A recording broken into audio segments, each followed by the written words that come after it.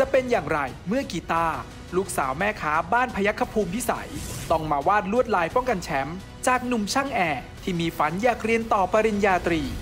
แชมป์ของเราในวันนี้ฮะเป็นแชมป์มาแล้ว 60 สมัยนะ แล้วก็สะสมเงินทุนจากโลแลนด์อิสราอยู่9 6 0 0 0 0 บาท วันนี้มีโอกาสเข้าไปสัมผัสเงินล้านนะกีตาร์จากมหาสารคา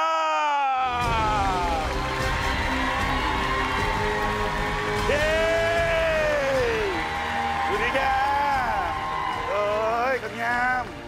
โอ้เสื้อสวยนะคะ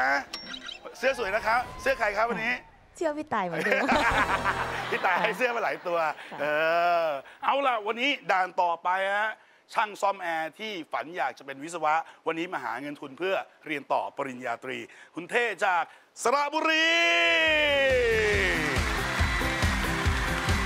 เท่สวัสดีครับเชิญนี้ครับเท่ครับแนะนำตัวหน่อยครับผม สวัสดีครับ ผมนายธนกรกระทุ่มเขต ชื่อเล่นชื่อเท่อายุ 21 ปีมาจังหวัดสระบุรีครับ ตอนนี้ทำอะไรอยู่ครับผม ตอนนี้ก็รับจ้างล้างแอร์ซ่อมเครื่องใช้ไฟฟ้า แล้วก็ช่วยแม่ขายโจ๊กครับ ขายโจ๊กนี่ได้ค่าจ้างจากแม่ไหม ได้ครับผมโอ้ได้กี่บาทวันหนึ่งได้เป็นถ้วยครับ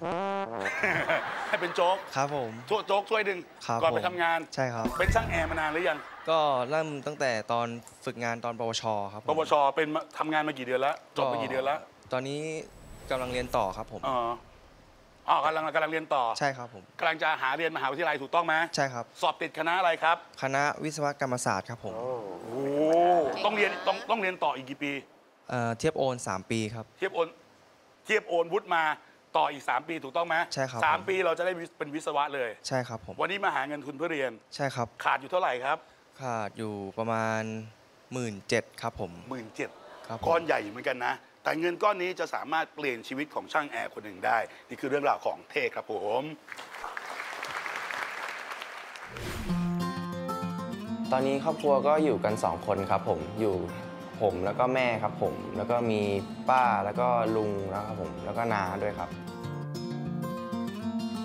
แม่ทำอาชีพขายโจ๊กครับผม ช่วงเช้าก็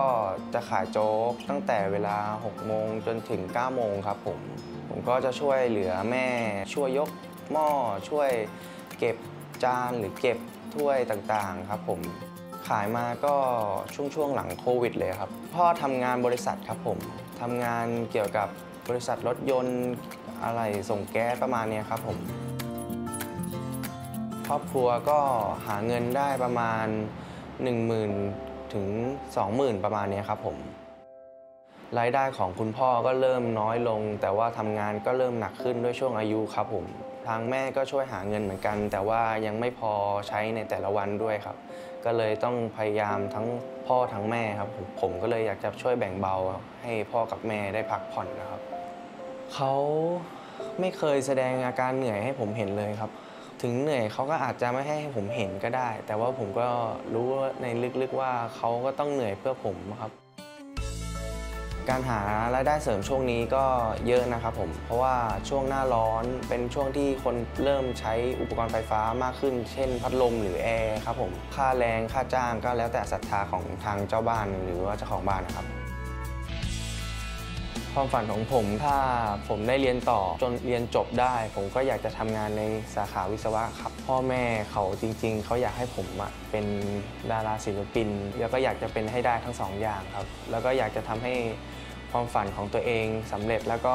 ความคาดหวังและก็ความฝันของพ่อแม่สำเร็จเหมือนกันครับผมที่มาสมัครในรายการดวลเพลงชิงทุนครั้งนี้ก็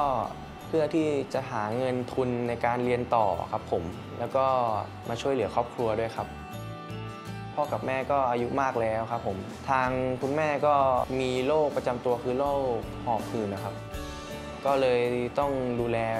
ท่านเป็นพิเศษครับผม ก็เลยอยากมีเงินเก็บไว้ในยามจำเป็นเวลาเจ็บไข้ได้ป่วยครับผมก็การแข่งขันในครั้งนี้ผมก็จะทำให้เต็มที่ที่สุดครับผมก็จะทำเพื่อครอบครัวครับผม แล้วก็จะทำตามความฝันของตัวเองให้สำเร็จครับ เป็นแฟนคนจนต้องทนหน่อยน้อง อย่าแค่สายตาคนมอง อย่ามองเมื่อยามแพ้พ่ายดีครับชอบครับ ไม่มีคำติดใด ๆ ทั้งสิ้นเลยอยากเสือสายตา ว่าภาพตรงหน้า สิเป็นความจริง จุดอ่อนวันนี้เรื่องของน้ำหนักแค่นั้นเอง น้ำหนักบางคำมันยังไม่กระแทกใจ